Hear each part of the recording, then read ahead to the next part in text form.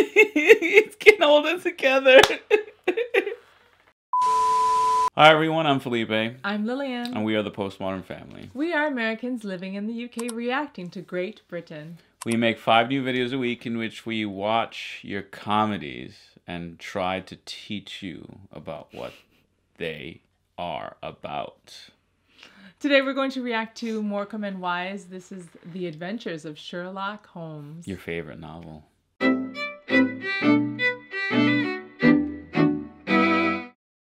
Okay, Morecambe and Wise not just doing stand-up comedy, but actually doing another sort of sketch. So it's you've been. uh, Oh, did you finish your me. Sherlock Sorry. Holmes uh, audiobook? So I got the complete, unabridged, all the all the stories. Mm-hmm. Yeah, and did you finish listening to them? them all. Wow. So you should really be able, good. if this is a story, I should be able to identify it. yeah. I'm sure they're not going to take it from a specific story. I think they're going to be more like um generalized. Hmm. Yeah. Let's see. That's that's true.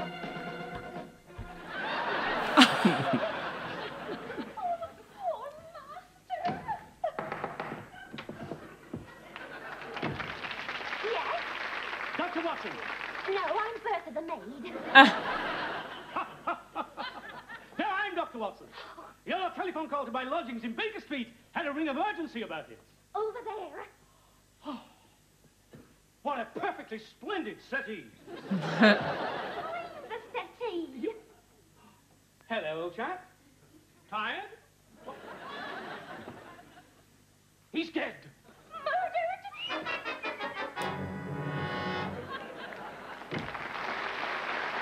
What's this gorilla doing here? it's an ancient uh, relative. How are you? I see you've got short, Okay. hairy arms as well. I'm sorry I'm late. Only I've just had a chip off, and at my age, that's painful. there you are, Watson. Good night, Holmes. Why? What have you been doing? oh, there's the deceased. Yes. Is he dead? We'll have to wait the result of the inquest. I see. Holmes? Yes? May I introduce you to Bertha the maid? Good Lord, yes, of course. Absolutely wonderful. Have you touched anything, Bertha? No, I was waiting for you. Clever, intelligent woman. what? what? Well, Holmes? Oh, yes, thank you. And you? Anyone else? In the house? Uh, the butler, Hawthorne. Ah, fetch him immediately. Yes, Mr. Holmes, sir. You can call back for the trousers. I don't like it, Holmes. You don't often get it, Watson. Down to business. Yes. How do you see it, Holmes? About once every three weeks, if I'm lucky. ah, what is it, Holmes? That's the biggest tin of salmon I've ever seen in my life. The biggest what? Tail of salmon? I don't know. Follow me. Right. Sorry.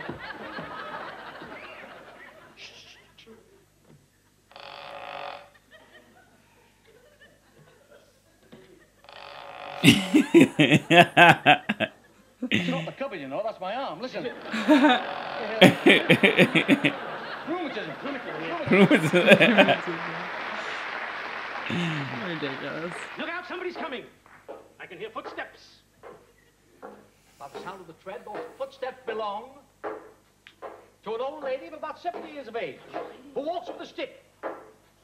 Due to a riding accident some 15, nay, 20 years ago. A brilliant deduction, Holmes. Elementary, my dear Watson. You're the double of your mother, do you know that? I'm Hawthorne the Bastard, sir. Oh, it's the guy from Yes Minister. Yeah. Dear, bring you gentlemen some brandy. A capital idea. Don't touch I didn't realize brandy, he was so Why not, Holmes? tall. I thought he was short. Excuse me. Bless you. He's taller than Bull. Hmm. Recommend. Certainly, sir. I observe that there isn't a hair on the lapel of your jacket. Certainly not, sir. Are you in the habit of going out with bald-headed women? Excuse me, sir. I think you're on something here, Holmes. Have we ever met before? Never. And when was that? About two years ago. Well, it was a scripter page. Mr. Holmes, I shall do everything in my power to help solve this appalling crime. Is it true that 12 months ago you were arrested and convicted of being the Bermondsey Flasher? How dare you, Mr. Holmes? That accusation is totally untrue and a dreadful indictment as to my integrity. Holmes, what does a flasher get when he's caught? I would say in your case, what's in a fine under the Trades Description Act? Mr. Holmes. Yes. Mr. I fail. I fail to see what all this has to do with discovering who murdered my master. Mr. Holmes, are you really the same man who solved the mystery of the Hound of the Baskervilles? Yes. It was Barbara Woodhouse in a skin. Why don't you let Hawthorne tell you his side of the story? What a good idea. Hmm. Sit down, Hawthorne. Sit down, please. Hawthorne. Thank you, gentlemen. Now tell me exactly, Yes? and in your own words, Yeah? exactly what happened this morning. Well, I brought my master in his breakfast at eight o'clock. or was it nine? No, it was eight. Well, it might have been, um, um, um,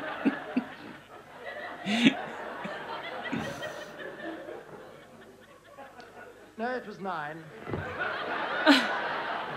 At what time exactly did your master die? Well, I think he died at 10 o'clock.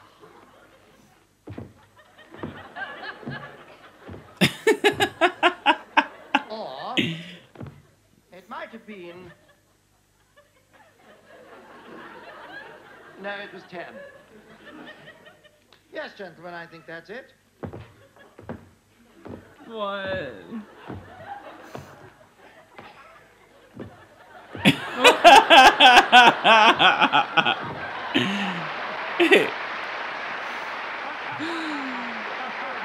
Messed it up.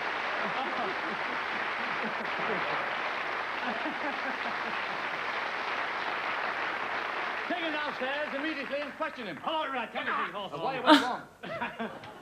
I will ring for Bertha, the maid.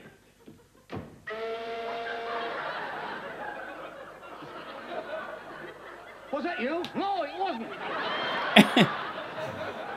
Come in.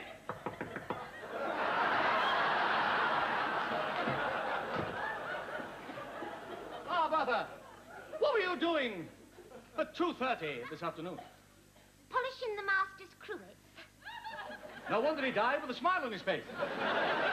What? Would you sit down, please, just for a second? There's one or two questions I'd like to ask you. Polishing Sorry. the master's... Don't worry about it. Tell me, what happened to the master's 1,000 gold sovereigns? And there's a band outside. How do you know that the gold sovereigns have been stolen? Because I am Herlock Sholmes. I know everything, and you are under suspicion. And you play your cards right, you could be under the settee with me. How can you suspect me? I'm just a simple country girl. I wouldn't lie to you, Has the Queen Mother come in? Is it the Queen Mother? Do you want me to make a statement? yes, please. Right then. Here it is. I fancy you. Ah. Something fierce. Ooh. Have you never loved a woman with a raging passion? Only once. What happened? The wife found out. You have all the things that I have ever looked for in a man. Well, would you mind showing me where they are? I've looked everywhere. You have that hungry look about you. It's a month since I had a bonio. I'll give you all the nourishment you need. Oh. When I'm next to you, I feel a fiery glow. Oh, yes, you set on my pipe. Are you cryptic, Holmes? I haven't done him much good, I promise you that. You disappoint me, Mr. Holmes. I get the impression you don't know what you're doing. How was the master murdered? Exactly. Answer that, if you can, Mr. Sherlock Holmes. Certainly. You mean you actually know how he was murdered? Hawthorne, sir. Open that cabinet there. Do, do I have to? Right away and immediately. Very well, sir. He's guilty. You're very kind. Now, sir. Yes. You see, your master was killed by a severe blow to the head. My hat! And you knew that blow was coming. And you avoided that blow. Professor Moriarty. and that band's still out there. you, Holmes! Say it again, Mr. Sherlock Holmes. Well, you being deucedly clever, but not clever enough. You will never He's getting all this together. thousand gold sovereigns because you will never discover me alive. He's bluffing, he's bluffing. He's not bluffing. He's trying for the knife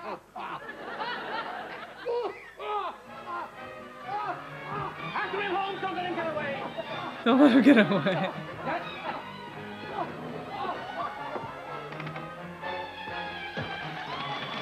The gold coins.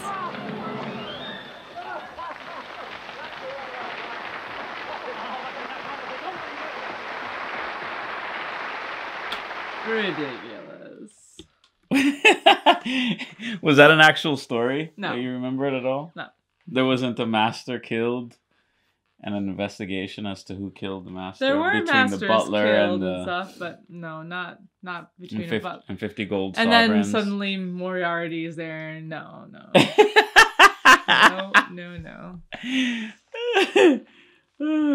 what do you think? It's so not. I think the the comedy in it is So that it's so not Sherlock Holmes. Yeah. Like So he was Sherlock never, Holmes. He was never interested in the women. Sherlock Holmes was because he was gay, right? No, he just he just wasn't He was homo. interested. He was just way more interested in his work than women. Um, Because he but- was a homo. But he no no he would often remark how stunning or how beautiful. Watson would always remark every every female character Watson. seemed to be very beautiful. To Watson. he would remark But not to. Holmes. because he was a homo. Holmes, would say that. yeah, he would say that too. Uh huh. He was even um married or in love. I mean, in the um he was in love, and then she in the BBC modern version, wasn't there uh impli- implicit allusions to, to gayness. Yeah. yeah, that's between the modern him and one. and uh and Watson. No, Yes. that was always one of Homo. those. Well, Watson was married, so Hmm. no. Um, So have you become a, a, a resident connoisseur of Sherlock Holmes now that you've listened to the I feel like I I feel like I know um the personality a lot better than I did Mm. before. But what was so- something that he would often do in his Mhm. in the writing that um Conan Conan, Conan O'Brien would do. I Um, know about Sherlock Holmes. was that it, it, he would hide um clues. the way he would hide the how he came to his conclusion. He would never reveal Hmm. it until the very very end where he Oh. catches and then then he lays it all out. And the other funny thing about all the stories is the culprit, the one who Hmm. they catch who confess they, always confess Mm. and then they always give a like a long reason why. Mm. It's like a did it. monologue or something. Yeah, they tell the story about Mm. why they did the thing. Oh, And then sometimes they were kind of justified in what they did. It, maybe it wasn't Mm. murder or something. Or maybe it was something Mm. else that they did. They they confessed to. theft or something. And then Sherlock would just let him go. He would just be Mm. like judge, jury, he and judged. execution. He kind of he knew sometimes when it was Mm. appropriate to let it go. right Um, and then other times where you know he handed them over because he was a private investigator. yeah right? he wasn't obligated to yeah to yeah, enforce any exactly law. yeah. Mm. Well, what's interesting is near the end, he he's so famous that We're talking about the skit now, or no Sherlock's Uh, character. all right. in the way because it chronicles Mm. all the way his entire career, like, Hmm. and he in it, he never dies in the you know Col- He's Conan- eternal. He's eternal. is he really? He, he he doesn't die. So he doesn't age or die. He does age, obviously. He's an alien. It's just I'm that- not saying it's an alien, but it's an alien. It's just that the author didn't write his death. Okay. he Oh, I see. Left it, and then, yeah. So people. So today, so million the- the million pound question is Robert Downey Jr. or Benjamin Cumberbatch? Benedict. Ben- Benedict Cumber Cumberbatch. Cumberbatch. Benedict Cumberbatch is better in playing the Hmm. role of Sherlock Holmes. Because The of what you've heard in the book. Yes, according to the book. Hmm. The only thing that I feel like he's missing is the one thing that um, Robert Downey Jr. has, Hmm. which is the Fighting. So he did in the character. He did Hmm. fight. He boxed. He was Mm. very well trained, and he's very Hmm. masculine. Whereas he Benedict. Cumberbatch He has a bit more of a slender. is a bit homo. He's not really in real life, is he? no, he's just posh. what does he do all the time? yeah, yeah. you praying? Um. Oh no, maybe it's. I like that uh, Brexit song and what they called him in that Brexit song. Be- Benedict Cumber bleep. Really? yeah. yeah. Yeah, so I actually have grown an appreciation of Benedict, Benedict Cumberbatch. Cumberbatch's uh, acting skills. oh, um, portrayal of Mm. Sherlock Holmes. He did a really good job with Mm. there's just the social awkwardness, but then Mm. also the the um, arrogance, and then Mm. as well as the fondness of like the the close loyalty that he, he and Mm. Watson had, that Mm. close bond of friendship that he Mm. often suppressed or you didn't see, but then like you had moments where you were like, he, Mm. that was like his only friend. Watson was like his only friend. Mm. I liked Benedict Cumberbatch as Khan in Star Trek, the movie. Yeah, he was good in that. It's yeah. good, man. What about good. in the um imitation game? what? What did he do in that He was like a decoder or something for the war during the war. imitation game? Oh, was he the scientist that I think so. who was? you don't even remember that one. Do I do. He, was um he was gay. He was a gay. He was gay. Yeah. Oh. Um, and then he was convicted of that, the real life character Mm, of uh of a crime, and then mm, pardoned like 50, 60 years later. mm, wow. Um, what was his name? Man, it's gonna it's gonna trouble me that I don't remember his name. Hmm. Um, anyway, yeah, fa- he decoded the enigma. Yeah, yeah, yeah. Yeah, yeah, yeah, yeah. Very cool. Ah, I forgot his name. anyway, back to this. But yeah, so this is just totally not Sherlock to me. So And was he a la- he wasn't a ladies man like He that. wasn't a ladies' man. He Yeah. wasn't interested in that. Yeah. Women never really threw themselves on Upon him. Sherlock. Never. Um, Watson sometimes I think they In the in the books, Yeah. because I've not heard or read the books, um, was Watson like a bumbling? No, he Hmm. was in fact Sherlock regarded him very highly, which is why he Hmm. always had him invited him on his Hmm. missions or whatever Hmm. investigations. Um, so I think, I think what's his name, Martin uh, Freeman plays Yeah. Watson in the BBC. in the BBC version, Yeah. and he does a good job, a fair job. I prefer the movie Watson, which is played Jude by Law. Jude Law. Yeah. much better. He's very competent. very, very. Yeah. Oh, too, not very much like Watson. Once again, in the book. In the book, Watson's more like Martin Freeman. I Oh, is that right? Yeah, Hmm. he's um very cheery, very positive, always wanting to um be helpful and Mm. not very he's not super assertive or anything. He's very Mm. like I'll do Mm. whatever you ask, you know. Mm. I'm there. yeah. And um and and he also says things like for example, sometimes Sherlock would test him just to see how Hmm. how He would react. how brilliant skills. Sherlock is compared Mm. to the common man. And then so he would say something like, "Oh, Watson, uh, are so are you gonna buy that house?" You know, like something that, Mm, and he because he's just sitting there for twenty minutes silent, just Mm. thinking, Hmm. and then always Watson's just like, "How did you know that?" So like- Thanks so much for watching this episode. We hope you enjoyed it. Leave your Morecambe and Wise recommendations in the comments. Thanks. Bye.